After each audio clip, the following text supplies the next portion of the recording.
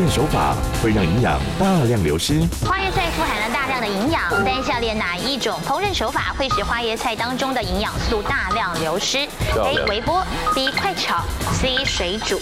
另外两个 A 跟 B 没有跟其他东西媒介接触到，水煮的话，因为有水泡在里面，它可能就比较流失。或者是煮的时候呢，就把它汤一起喝下去就好了。